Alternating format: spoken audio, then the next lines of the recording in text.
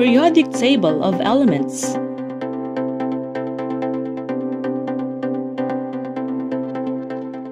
What is periodic table of elements? Periodic table of elements is often called the periodic table. It organizes all discovered elements in rows and columns according to increasing atomic numbers. Also, it is where 118 elements are arranged based on their similar properties. Here is a periodic table.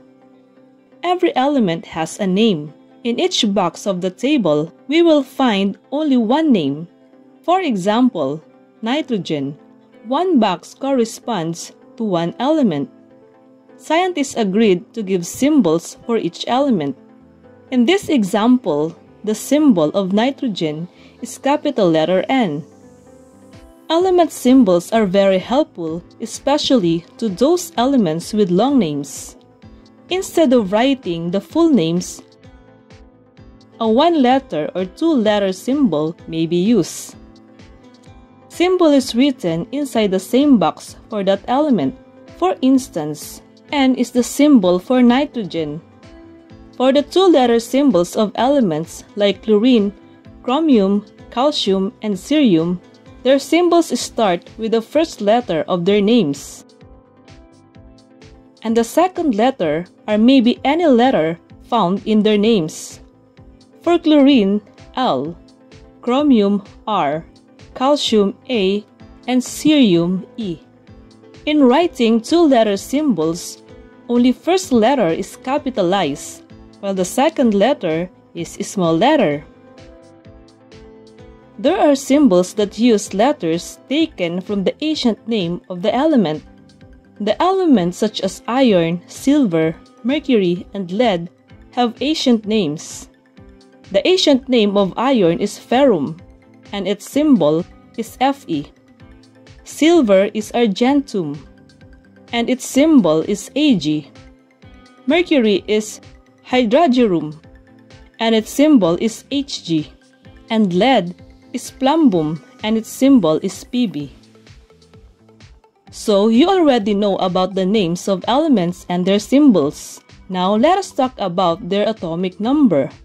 In each box, we will find a number on top of each symbol. This is the atomic number.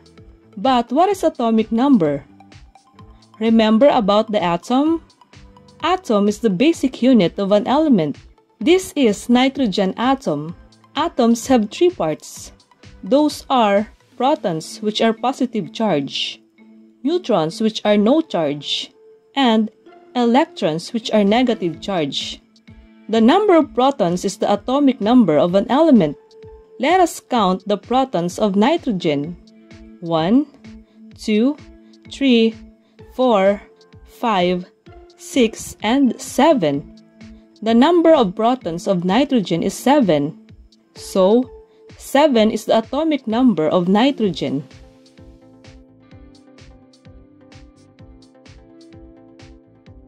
Also, in each box, we will find the atomic mass at the bottom of each symbol.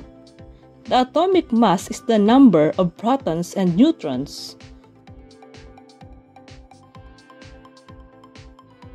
So the total number of protons and neutrons of nitrogen is 14 which is its atomic mass. Let us have other examples. This is the name of element beryllium, its symbol, atomic number, and atomic mass. This is the name of boron, its symbol, atomic number, and atomic mass. Notice that the elements are in columns. Those columns are called groups or families. They are the vertical columns on the periodic table. All members of each family have the same properties. There are 18 groups which are numbered from left to right. On the other hand, elements are also arranged in rows. These rows are what we call periods. Periods are the horizontal rows on the periodic table. There are 7 periods which are numbered 1 to 7 from top to bottom.